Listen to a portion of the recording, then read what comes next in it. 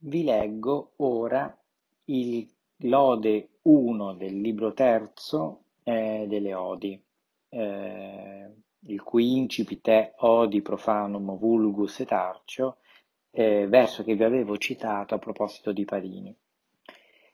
È un canto questo che fa parte delle odi romane, cioè delle odi di alta caratura morale e intellettuale e atte a favorire di fatto la eh, riforma morale e culturale che era stata promossa dal regime augusteo dopo Azio. La eh, poesia che è in ode eh, arcaiche, proprio perché Alceo è la, è la poesia civile, quindi viene preso questa metrica tipica della poesia civile, ehm, questa ode eh, è forse più fredda rispetto a quello che abbiamo letto fino adesso. È un'ode più tarda, ma eh, contiene in sé, a parte questo incipit molto celebre, tutta una serie di grandi temi che sono cari a Orazio. Inizia così. Odio il volgo profano e lo tengo a distanza. Quindi detesto le persone volgari che sono profane, cioè non sono addentro al sacro e lo tengo a distanza. Non sono dentro al sacro di che cosa? Della poesia e della filosofia, come se questi, la, la conoscenza fosse qualcosa di sacro. Fate silenzio, e anche questa è un'espressione tipica della sacralità. Il silenzio era una cosa che caratterizzava le eh, celebrazioni rituali nel mondo greco. Precedevano per esempio il sacrificio. Per i ragazzi e le vergini, al sacerdote delle muse, io canto canti mai uditi prima. Qui c'è la rivendicazione da parte di Orazio di cantare qualcosa che non è mai stato scritto in poesia, soprattutto qui nei suoi modelli, cioè eh, la poesia lirica in genere, per i ragazzi e le vergini perché sono i membri tipici dei cori che eh, diciamo accompagnavano i vari rituali sacri nel mondo antico. Come si presenta Orazio? Come un sacerdote delle muse. È un cantore, ma è un cantore ispirato dalle muse e non è solo un cantore banale, ma è proprio un sacerdote, cioè qualcuno che è adibito a azioni sacre. Questo, questo rappresenta di fatto la, una cosa topica nella letteratura, eh, in realtà eh, già dal mondo eh, greco in poi, ma poi da Orazio soprattutto fino ai nostri giorni, del fatto che il poeta ogni tanto si presenta come un poeta vate, cioè di un poeta che assume il ruolo di eh, educatore della civitas, della, sua, eh, della società a cui si rivolge, e che e si pone come voce autorevole, come maschera autorevole nei confronti del proprio pubblico. E a questo punto fa riferimento a cose importanti subito dopo questa strofa. Se i re terribili hanno potere sul proprio gregge, cioè se i re hanno, sono potenti nei confronti dei loro sudditi, sopra i re sta il potere di Giove. Questo perché Giove è di fatto eh, la divinità del potere politico, ne è quasi diciamo, la rappresentazione dentro l'Olimpo del potere degli uomini sulla terra. Giove che, illustre per aver sconfitto i giganti, qui fa riferimento al mito eh, in cui Zeus avrebbe distrutto i giganti che volevano sovvertire il potere divino grazie agli altri dei e poi li avrebbe sotterrati nel Tartaro, questa cosa in Esiodo, nel, nella teogonia di Esiodo, Giove che muove il mondo col suo sopracciglio. Immagine di estrema potenza, Zeus è sempre ra- ra- rappresentato col verbo nuo, per esempio in greco, con questa azione per cui eh, non esprimerebbe la propria volontà parlando, ma accennando, accennando di sì, cioè abbassando la, la, la testa, o di no, scuotendola.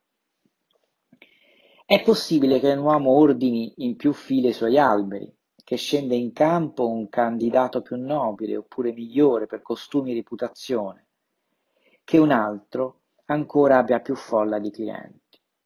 Cioè, ammettiamo pure che sia possibile, e qui sentite, non siamo veramente su un Priamel come nella, nell'Ode 1.1, ma ci siamo quasi, e fra l'altro la struttura, eh, il fatto che la struttura qui richiami l'Ode 1.1 è significativo perché siamo nella prima Ode del terzo libro. E, ehm, cioè, è possibile che ci sia un uomo che ordini in più file i suoi alberi, fa riferimento chiaramente alle persone che fanno i frutteti, che sono in file, ma probabilmente è un riferimento a un'immagine politica, che scende in campo, pro possibile che questo campo sia il campo Marzio, dove effettivamente venivano scelti alcuni eh, magistrati, benché eh, molto spesso venivano scelti nel foro, un candidato più nobile, più nobile di stirpe chiaramente, oppure migliore, qui c'è il gioco tra Aristos che vuol dire migliore ma anche nobile, migliore per costumi o per reputazione, cioè per gloria. Che un altro ancora abbia più folla di clienti, cioè che abbia un supporto sociale maggiore rispetto agli altri. I clienti erano quelle figure subordinate di un aristocratico, di un nobile che erano subordinate a lui perché avevano ricevuto favori dal loro dominus.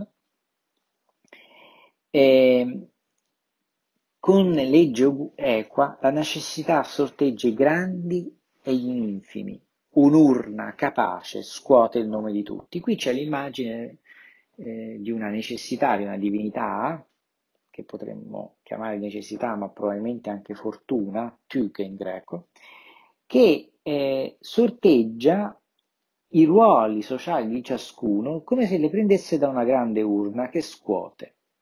Cioè non è che è un vero e proprio merito dove siamo, ma è più che altro casuale. Di fronte a questa immagine, la risposta epicurea di eh, Orazio è accontentarsi. Vedremo perché. Infatti la frase nella strofa successiva evoca una situazione in cui la necessità ti mette di fronte a qualcosa di difficile. A chi pende sulla testa empia una spada sguainata, non danno gusto i bacchetti siciliani e non gli conciliano il sonno il canto degli uccelli e la scelta. Qui chiaramente fa riferimento alla spada di Damocle. Eh, il tiranno Dioniso, racconta Cicerone, avrebbe eh, messo sopra la testa di Damocle una spada presa a un, a un crino, a un capello praticamente. Quindi diciamo una cosa, una situazione molto precaria quindi non gli davano gusto a Damocle e non gli danno gusto a nessuno che è sotto una necessità impellente, neanche i banchetti siciliani che venivano considerati i banchetti più lauti e più eh, delicati, ricchi, eccetera, eccetera del mondo antico.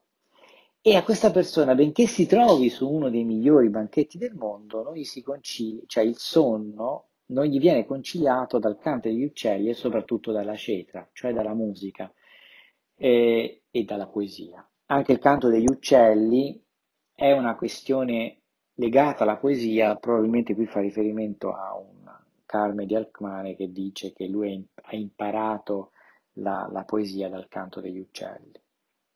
Invece, quindi avete il contraltare, il dolce sonno non evita le case umili degli contadini, la riva ombrosa, la valle agitata dallo zeffiro. Ora qua c'è, eh, c'è un riferimento di contrasto proprio a quello che dicevo prima, cioè all'epicureismo. Le case dei contadini non sono evitate dal dolce sonno, cioè sono baciate dal dolce sonno e sono umili, cioè eh, non stiamo parlando dei, del banchetto di, del tiranno Dioniso, ma sono persone umili. Perché, le ba- perché sono, eh, sono, amate dal, sono amate dal sonno queste case? Perché diciamo le rive ombrose, la valle agitata dallo zefiro eh, di fatto non evita le case dei, eh, degli umili, non le evita perché eh, queste persone magari si accontentano di una vita povera, umile, ma che può dare soddisfazione, anche se sono stati nell'urna, diciamo, della necessità, hanno preso il biglietto sbagliato.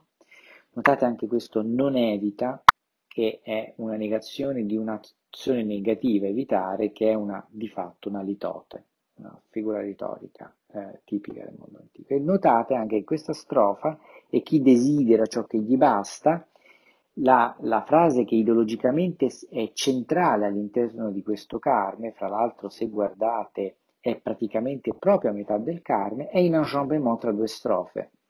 Cioè è chi desidera ciò che gli basta, cioè chi si conforma all'etica epicurea, neanche il mare in tempesta lo angoscia, neanche la furia di Arturo al tramonto del capretto quando sorge. E le vigne percosse dalla grandinata o il podere ingannevole, con le piante che accusano ora le acque, ora le stelle che bruciano i campi, ora l'inverno spietato. Cioè chi si accontenta supera tutte le difficoltà che, che la natura gli può dare, cioè la eh, cosa, il mare in tempesta, non, non, può ingosciarlo. Qui è un'immagine che richiama moltissimo Lucrezio. In Lucrezio c'è questo fatto che il saggio stoico è come una persona che eh, vede da riva il, il, mare in tempesta e si dice io sono al di là di, queste, di questi problemi e non me ne interesso. Neanche la furia di Arturo al tramonto, e quando Arturo al tramonto, Arturo è una costellazione, è una stella, diciamo, e quando tramontava iniziava l'autunno e l'inverno. Idem quando il capretto, che anche questo sono insieme di stelle, quando sorge, che fanno riferimento. Voi dovete sapere che nel mondo antico eh, i contadini eh, facevano i lavori dei campi, questo lo dice Esiodo nelle opere dei giorni, a seconda della posizione delle stelle nel cielo. Se una stella tramonta a un determinato momento della giornata, significa che siamo nel periodo della vendemmia, oppure il periodo della mietitura, oppure il periodo di fare determinate azioni. Quindi quando le stelle ti indicano che è il momento peggiore dell'anno, quando nevica, piove, eccetera, eccetera, tu non, ha, non ti devi preoccupare perché ti sei accontentato. Oppure l'altro esempio è quando le vigne sono percosse dalla grandinata, questo è un, uno dei grandi drammi quando sta per avvenire la, la vendemmia, che sapete se la vigna è percossa dalla grandinata praticamente la vendemmia è buttata o il potere ingannevole, cioè il potere che non ti dà poi in realtà eh, quello che, eh, i frutti che avevi sperato, con le piante che acchiusano ora le acque, perché sapete che le piante quando ricevono troppa acqua marciscono, ora le stelle che bruciano i campi, qui fa riferimento al cane, alla canicola, eh, quindi mh, mm, è, è, quando diciamo si vede durante la notte eh, la canicola, che è una stella che, sta sotto, che, è, che è Sirio di fatto, che eh, compare durante tutta la notte, eh, diciamo, in un periodo che è durante l'estate, che corrisponde al, al momento eh, in cui fa troppo caldo. Mm? Quindi sarà tra la fine di luglio e tutto agosto. E, ehm, ora l'inverno spietato quindi non ti fa paura né il troppo caldo né il troppo freddo, né la pioggia né la grandinata, eccetera. I pesci sentono restringersi il mare per le fondamenta gettate al largo, cioè i pesci sentono restringersi il mare a causa delle fondamenta, cioè di queste specie di dighe che vengono fatte in mare per proteggere le barche o per farle partire. Le colmano l'architetto gelante con i suoi accoliti, cioè con i suoi aiutanti, e il padrone, cioè l'impresario che diciamo fa fare questo lavoro, che si è stancato della terra. Ma timore e minacce vanno dove va il padrone, cioè non è che se il padrone sfugge la terraferma per andare in mare, si lascia alle spalle tutte le paure che gli aveva trovato. E il nero affanno non lascia la triremi di bronzo, cioè il, la, il nero affanno, l'affanno che fa paura, non lascia la triremi, che è un, tip, un, tip, un tipo di barca specifico del mondo antico, non lo abbandona, quando cavalca siede alle sue spalle, cioè quando cavalca il mare, questo diciamo affanno siede alle sue spalle, gli sta dietro.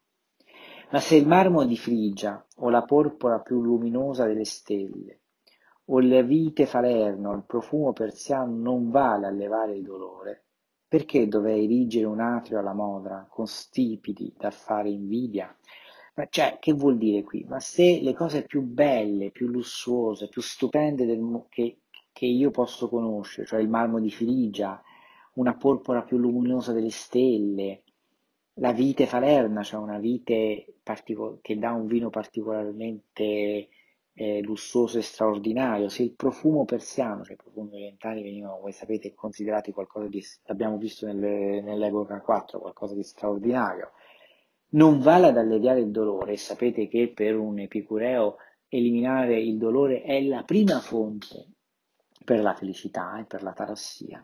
Perché dovrei alzare, costruire un atrio alla moda, cioè che sta dietro tutto quello che la gente desidera, con stipidi, cioè con questi specie di colonne, con stipidi alle porte, da fare invidia a tutti, perché io dovrei essere invidiato per avere una casa straordinaria? Perché cambiare con più laboriose ricchezze la mia valle Sabina? Perché io dovrei rinunciare alla mia villa in Sabina e sostituendolo con qualcosa che è molto più ricco, molto più bello, ma poi non mi allieva il dolore, allora preferisco accontentarmi di poco, accontentarmi del mio campo, del mio vino semplice, che mi dà molto più gioia che non magari eh, impegnarmi in quelle grandi eh, opere civili che magari danno affanni, che sono quelli che voi ritrovate all'inizio del Carve, cioè eh, i versi 9 e seguenti, e, e, ispirarmi a una moralità più saggia, più, eh, più, più sobria, ma probabilmente più eh, prona a rendermi felice.